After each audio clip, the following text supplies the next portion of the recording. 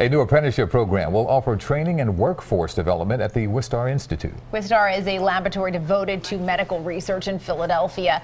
It's partnered with the Community College of Philadelphia to train young scientists.